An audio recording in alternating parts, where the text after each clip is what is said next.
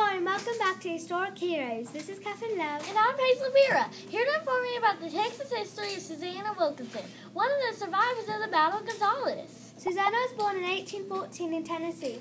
When she was growing up, she learned how to cook, sew, and take care of the house instead of going to school. When she was a teenager, she started dating Almon Dickinson. During the Battle of Gonzales, Almon died bravely fighting.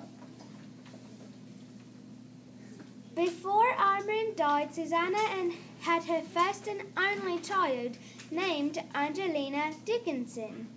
After the Battle of Gonzales, Susanna, Angelina, and several other survivors were sent to Santa Anna. He sent them all home with a blanket and two dollars, but he offered Susanna if he if she wanted to come to Mexico. He also offered to adopt Angelina since Susanna had no husband. Susanna completely refused. I know I would. Instead of getting mad at Susanna, he contained his anger and told her the, another option, which was to give a letter to Sam Houston, leader of the troop. The letter said that the Alamo had fallen into surrender. Susanna agreed to this. On the morning of March 11th, she and Angelina rode by horse to give the letters to Sam Houston. This began the runaway scrape.